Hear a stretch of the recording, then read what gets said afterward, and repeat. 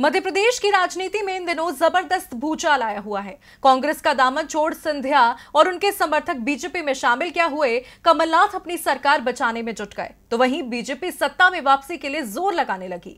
साथ ही एक दूसरे पर तंज कसने का सिलसिला भी ज़ोर पकड़ने लगा। इसी कड़ी में अब सूबे के पूर्व मुख्यमंत्री दिग्विजय सिंह का बड़ा बयान सामने आया है। एक रिपोर्ट देखिए।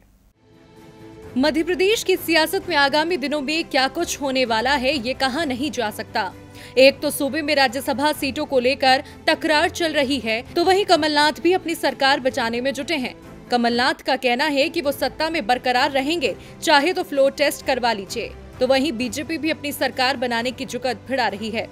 लेकिन जिसकी वजह से ये पूरा सियासी माहौल बना, यानी कि ज्योतिरादित्य सिंधिया, उन पर भी कटाक्ष करने का सिलसिला खत्म नहीं हो रहा। कांग्रेस के दिग्गज नेता दिग्विजय सिंह ने पार्टी का साथ छोड़कर गए, ज्योतिरादित्य सिंधिया पर करारा तंज कसा है। दिग्विजय ने कहा कि ज्योतिरादित्य सिंधिया ने सत्ता की भूख के चलते विचारधारा से समझौता किया।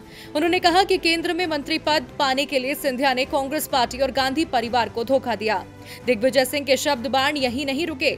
उन्होंने कहा कि ज्योतिरादित्य की दादी विजयराजे सिंधिया ने उन्हें भी जनसंघ में शामिल होने का ऑफ़र दिया था, लेकिन उन्होंने विचारधारा की खातिर इससे इनकार कर दिया था। दिग्विजय ने कहा, मैंने कभी ये उम्मीद नहीं की थी कि महाराज कांग्रेस और गांधी परिवार को धोखा देंगे और किसके लिए? राज्यसभा जाने और मोदी शाह के नेतृत्व में कैबिनेट मंत्री बनने के लिए। ये दुखद है। मुझे कभी उनसे ऐसी उम्मीद नहीं थी। लेकिन कुछ लोगों के लिए हंगर ऑफ़ पावर यानी कि सत्ता की भूख, विश्वसनीयता और विचारधारा से ज़्यादा महत्वपूर्ण है।